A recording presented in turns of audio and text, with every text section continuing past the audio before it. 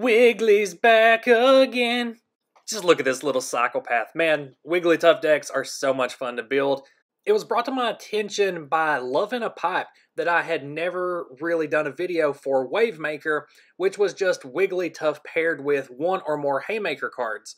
And at first I thought that it didn't need its own video because you could just take your basic Wigglytuff build and add in more basic Pokemon.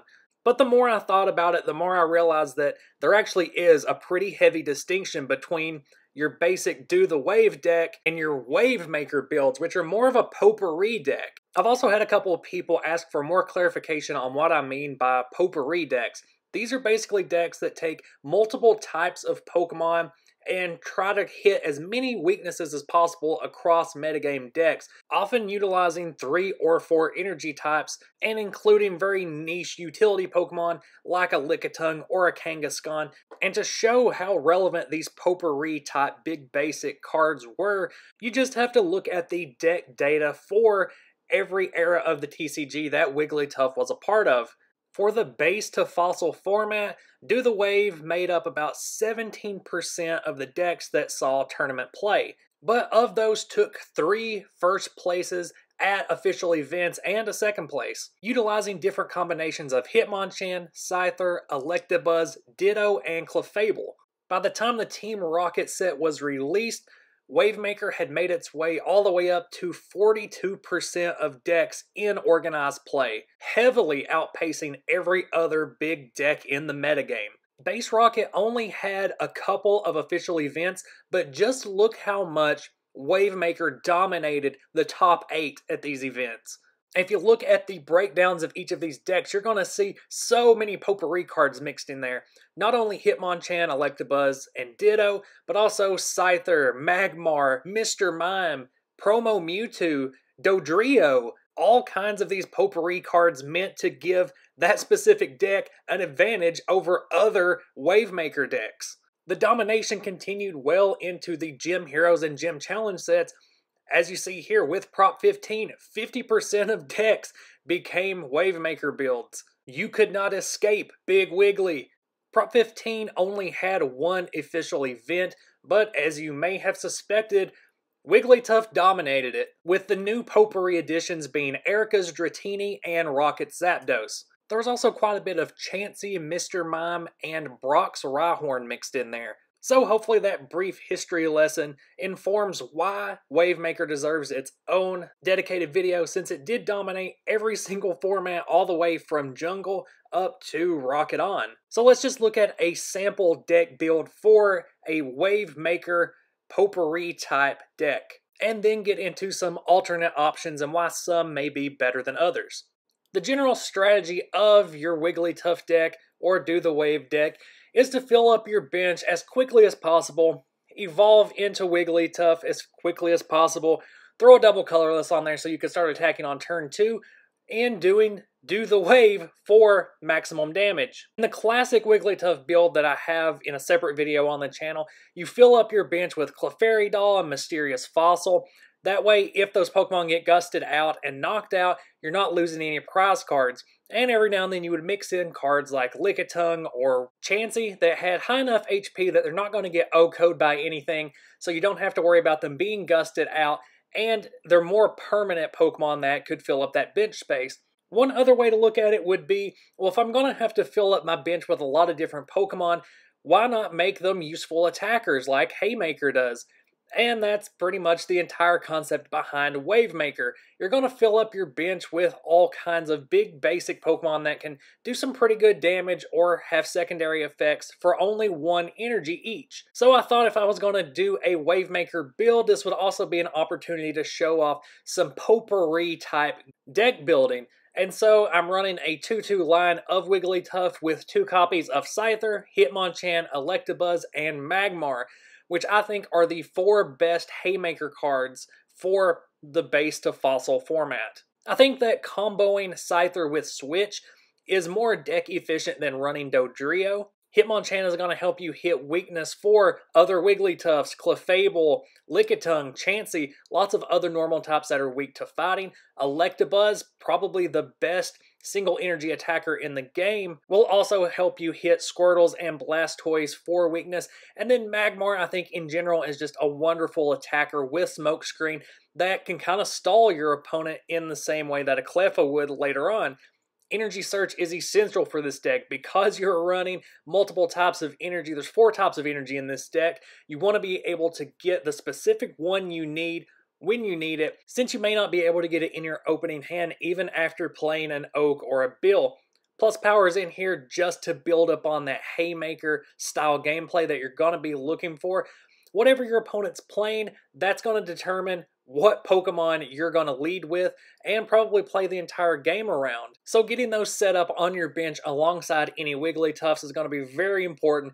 Gust of Wind is in here for the same reason. It's really should be called Gust of Wind because that's where most of your knockouts are going to be coming from. You're going to be pulling off those smaller basics from your opponent's bench and attacking them, or Pokemon that have previously been retreated because they have too many damage counters on them. Because this is potpourri and it's a more diversified approach to Wigglytuff, you're not really going to have room to use those super energy removals or the super potions in this deck to heal up your basics. Instead, your focus is going to be on attacking for weakness early on in the game and then swapping into Wigglytuff mid or late game in order to deal that massive do the wave damage and potentially start knocking out your opponent's big basics with do the wave. So if you see your opponent starting out with a Hitmonchan, that's when you're going to want to use computer search to try to search out a Scyther to make your active that way, that resistance can really kick in, and they're going to have to swap their Hitmonchan. At which point you can swap out Scyther. If you see your opponent starting with a Scyther, then you may want to search out a Magmar and try to hit that Scyther for weakness. I do include a couple of grass energy in this deck in case you do want to attack with Scyther. It's really easy to do, especially with that double colorless included. Swords Dance Slash can be really threatening to your opponent, so if you maybe want to force them to switch, you can use Swords Dance as a tactic just to get them to swap, or you can go ahead and deal that 60 damage next turn. The energy distribution in this deck is based on how much I used each of these big basics to attack with, as well as how much energy their secondary attacks cost. So even if I didn't use Hitmonchan as much, it does need another fighting energy to use Special Punch if I wanted to. So that's why I'm including 5 copies of fighting energy as opposed to the 4 copies of lightning energy for Electabuzz, even though I use Electabuzz much more often than I do Hitmonchan. Same thing with Magmar, where I do use Magmar quite often, but Smog only requires 2 fire energy to use, so I really only need 4 copies of fire energy in this deck and then a couple of grass energy for if I ever want to use Scyther. So when you start the game and you kind of see what your opponent's playing, you can rule out pretty fast like, oh, well, I definitely won't be attacking with Magmar this game since it's about Rain Dance, so instead I can put those fire energy onto Wigglytuff since I'm not going to be using them. So in that way you can actually shift your deck to fit whatever you're playing against. So hopefully you understand why I chose these specific potpourri partners for this build of Wavemaker, but like I said, you do have a lot of other options, one of which is actually including Dodrio, because it's going to reduce the retreat cost of most of your big basics down to just one energy instead of two, which makes a huge difference because you're usually only going to be attaching one energy to each anyway to use its one energy attack.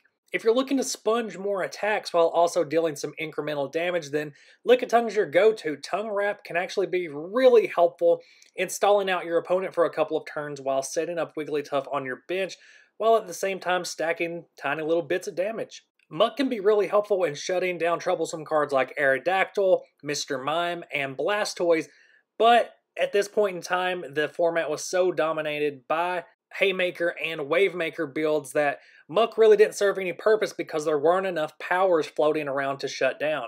The most popular Wavemaker card that I didn't include in this build was Promo Mewtwo. Because it could get set up so quickly, energy absorption doesn't specify that you have to get any certain type of energy back, so you could grab one Psychic and one of any other kind of energy to use Psyburn. And this was such a popular addition because Psyburn is going to allow you to OHKO any opposing Hitmonchans. Mr. Mime was a little less popular as a psychic type attacker, even though it had a great Pokemon power.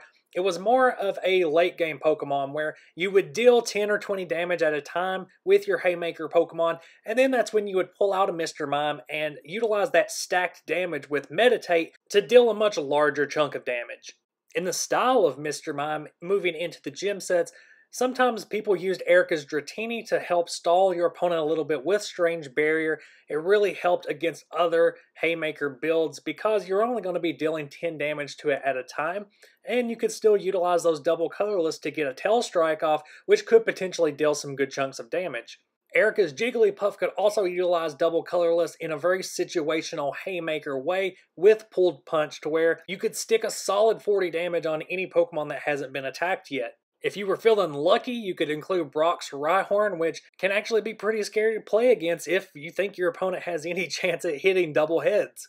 Ditto was a staple of Potpourri and Wavemaker decks because it could turn a double colorless energy into basically a double rainbow energy, which let it get off attacks much faster than whatever it was transforming into. Clefable was utilized in the same way as it could copy any attack on your opponent's opposing Pokemon so if you're up against a Hitmonchan, you can actually pick Special Punch and use it for only one energy instead of three. This was especially useful in mirror matches as you could do the wave for only one energy and still deal the maximum amount of damage. I could go on and on listing the pros and cons of other various basic Pokemon that could fit into a Wave Maker deck, but I've gone over all of the really useful ones and you guys can use your own imagination.